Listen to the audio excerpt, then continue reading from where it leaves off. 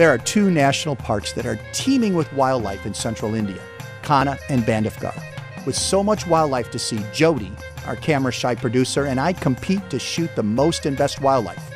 With cameras, of course. From wildlife to wildly colorful celebrations of Holi where everyone gets swept up in the festivities. But it's not all wildlife out here. There are some things that just are petrifying. So join us today as we step inside Kipling's Jungle Book.